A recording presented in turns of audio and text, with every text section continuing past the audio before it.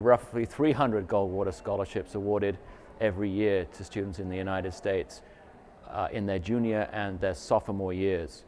And so with only 300 scholarships to go around and literally thousands of institutions competing, uh, it's a very, very competitive scholarship.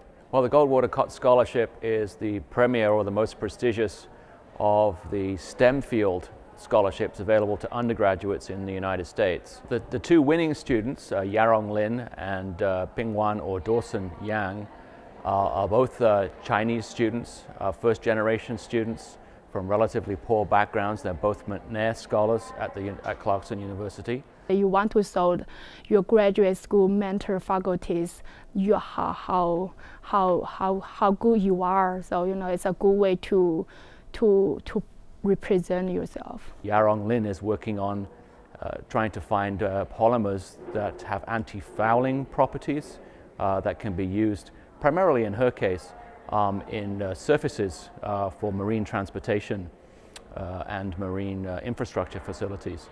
Dawson, um, Pinguang Yang is working on trying to find therapies for cancer. 90% of the cervical cancer come from the small region of the cervix, they call transformation zone. So it's really fascinating that most of the cancer, cervical cancer come from these tiny small regions. So we're really interested into understand that why the most of the cervical cancer come from these regions. Several of our previous winners have gone on to major institutions to do their research.